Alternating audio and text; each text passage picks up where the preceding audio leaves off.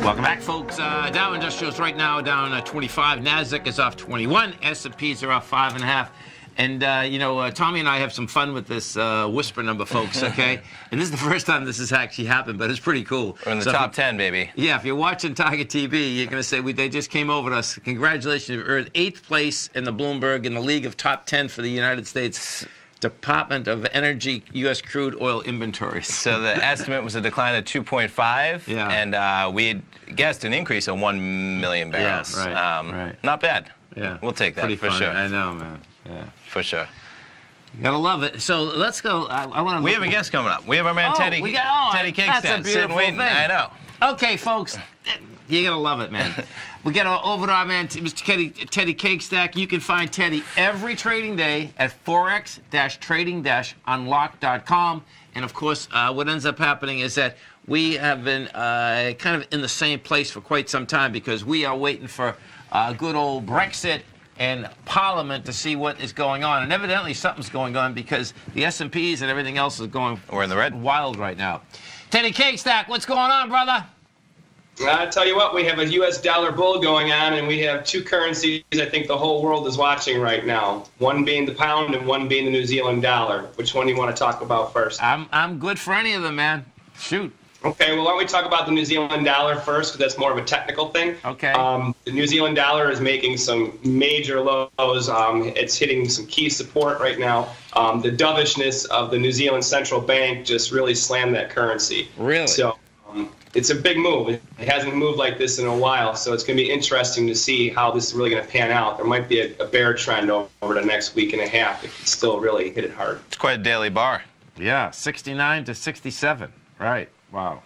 Yeah, it's like the rug just got ripped out from underneath it when all the other currencies are relatively quiet today. Okay. Okay.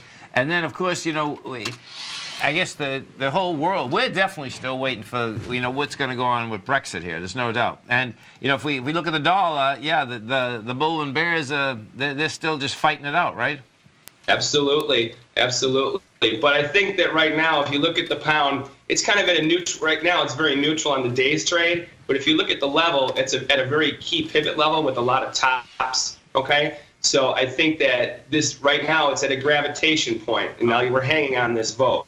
We know that it's finally coming. You know, the chokehold is there for all the politicians to really Chokehold. come and make a decision. right? Now or never, right? Yeah, the choke. Absolutely, it's now or never. So, and I think that the market, no matter what, is bullish the pound.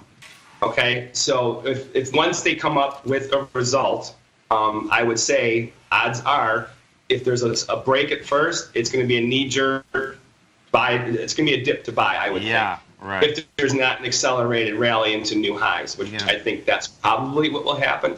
Um, so there's definitely a volatility play. It's not going to hang in this area, that's for sure. Yeah, you buy the reaction. So, what do you think's going on with the euro? You know, I mean, eh, we're getting close to the lower end of this consolidation that's been in for, you know, since going all the way back to what November, right?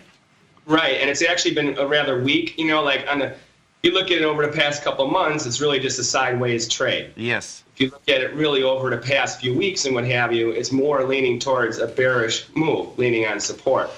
Now, it's coming into this area where, when there's bad news, okay, let's say if the, let's say if the market was getting cracked right now, especially over in Europe, and there was all kinds of bad news, you know that they would be trying to bury the euro. What happens when that happens? They can't get it below 112, 111 half, and that's when there's tons of bad news.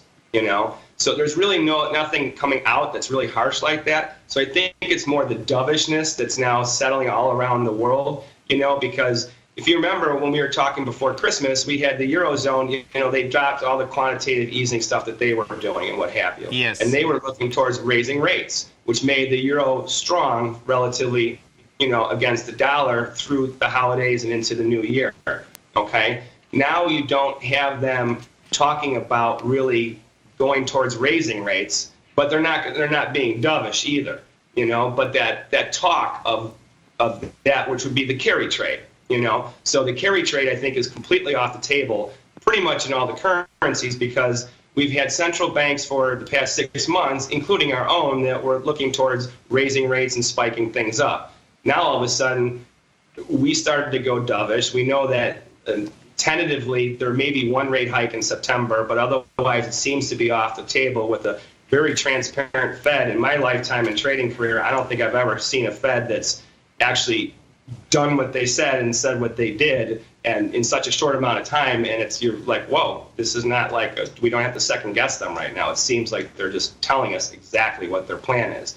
And if that's the case the other banks are following that right now. And that's Yeah, what i I- think I- is how we have this slowly grinding bull for the us dollar against all the majors you know take new zealand aside that's just because of what their central bank did and i think that's a confirmation for what i'm talking about here is that now they followed suit so you have the whole global trade zones of central banks basically looking at they always look to the fed for what we do but now it's like they're actually following what the fed does Yeah, no, I agree, man. I mean, this is one of the biggest turns I've ever seen. That so Oh, for quick. sure, yeah. I mean, you know, all of us go back six months, and it's like, okay, you know, the 10 years six months ago was at 3.1, 3.2. You're at 2.34 this morning. It's like, okay, like, you know, 30 years are going down, everything's going down, and simultaneously, everyone's going down across the world, and it doesn't look like they're going to be going up anytime soon. Sure. You know, Yeah. so. Yeah, a lot of a lot of moving pieces, man. And I guess the real now question is going to is be. one thing that change things if like for instance they keep talking about the global slowdown Yes. you know in asia and in europe. Now our economy no matter even though they keep trying to say things are slowing down and all of a sudden the numbers come out and they're like oh it's contrary to what the consensus seems to be pushing towards. But then Yeah. it's all we all you guys have been in the markets long enough to know that when the market's going up they're always predicting the sky is going to fall. But when the sky is falling then they're like oh it's about to turn around right? Yeah, no doubt. No so doubt. I think a lot of that is going on right now, but because the markets are not reacting, it's confusing things, and that's causing this like drifting, you know, just kind of neutral trade, especially with the currencies and even the interest rates. Because now, if this all this dovishness stuff that's going on, what's going to happen to rates? They're going to be in a range.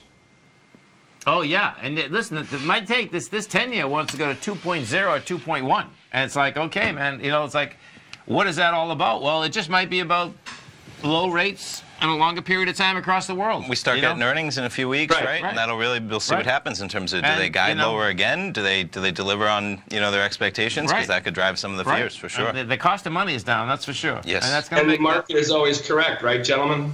Yeah. you can't fight it. No, th- I know on CNBC they say the market gets it wrong, but I know that the market never gets it wrong. They They can't price- because it's the market, right? Exactly. all you have to do is look at the bond market. They got it right so much earlier than everyone. It's like, oh my God, okay. I mean, they've been buying bonds since November. Okay, so it's like, Yeah. why? Well, guess what? Because rates are going down. You know? And look at gold too, right, Tom? Yep. No, no, And no doubt. you Go, rates, it's the same thing, and we know the cycle of things is first the bonds move, Yeah. then gold moves, Yeah. then equities move, right? Gotta love it. Listen, folks, every trading day you can reach Teddy at Forex. Dash trading dash unlock.com. Check it out, folks. Teddy, it's always a pleasure, man. You have a great week, safe week. We look forward to speaking to you next Wednesday. Thanks, guys. Thanks so much, man. Thanks, Have Teddy. Stay Take right care. there, folks. Tommy and I are coming right back. We get some selling in the market. We get the Dow down 63. Nasdaq is off 37. S&Ps are off 10. We're coming right back.